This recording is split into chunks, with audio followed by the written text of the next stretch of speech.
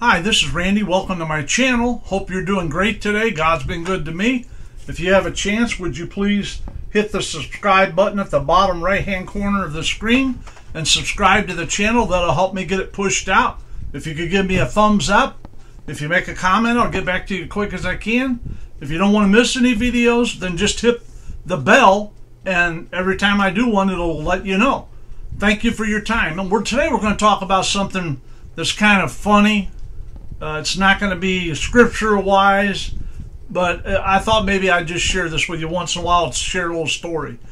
Uh, a church elder in my father's church, it was on the church board, a board member, uh, and his son were talking on a Sunday afternoon after we had a church dinner, and they were out on the platform talking. And uh, he said, his son said to him, said, Dad, I really want to get a car and I really need your help. I've saved up $400. The one I found is 500. I can't get them down any lower. And I really need a car. I'm tired of walking everywhere I go. And if you could help me out with it, and he said, then I'll need insurance. And because I'm only 17, uh, I have to get the title in your name. And his dad goes, Well, uh, his dad told him, he said, You've got this long hair, touches your shoulders, and you got that beard. If you shave that off and get a haircut, I'll help you get a car. But if you don't, I'm not going to help you. And he was, he looked over at me like, Oh my God.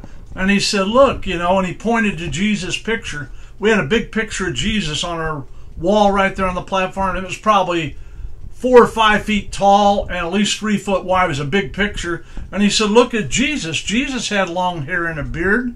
And his dad said, Yes, he did, but you're not Jesus. He goes, Oh, by the way, Jesus walked everywhere he went too.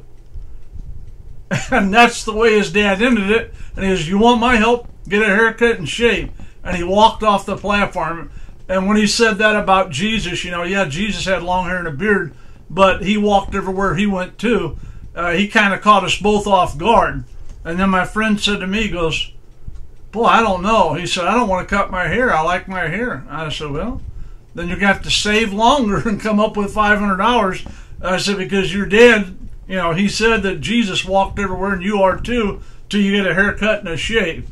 So, anyway, that was just a little story I wanted to share with you that happened. And I laughed and laughed so hard after his dad left, and my friend got a little aggravated at me, but I thought it was so funny what is the way his dad came right back right away and stayed on his side. He wasn't going to give in. He did get a car about three months later, but he had to come up with the other hundred dollars. His dad didn't help him, but his dad did tell him, if you can come up with the money to pay for the car and the sales tax, then I will help you get the insurance. I'll get you on my policy, and you'll be restricted to that car only, but I will. And his dad kept his word. He did get him insurance, but he didn't help him buy the car or pay the sales tax because uh, he had long hair and a beard like Jesus, and he's going to walk everywhere he went.